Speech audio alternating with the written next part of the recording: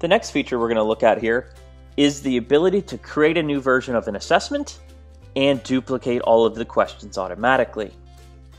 This feature is going to be useful if you need to duplicate a passage-based question.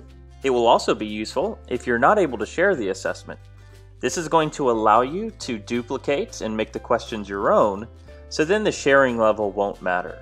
It's also going to help with making sure you don't have to go in and edit each question individually.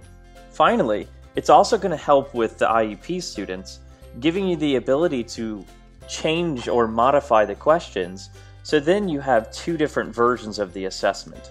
To create a new version and duplicate all the questions, we need to go into the library. From there, you can either access your library or you can just use the entire library. I'm going to use the entire library to do this, and it's the same exact steps for your library. I'm going to go ahead and click on 1115 quiz here. And when I do that, I'll click create a new version, and now my options come up. The first one is good if all you want to do is just create a pre-test and a post-test. You're not changing anything, but you want a second test.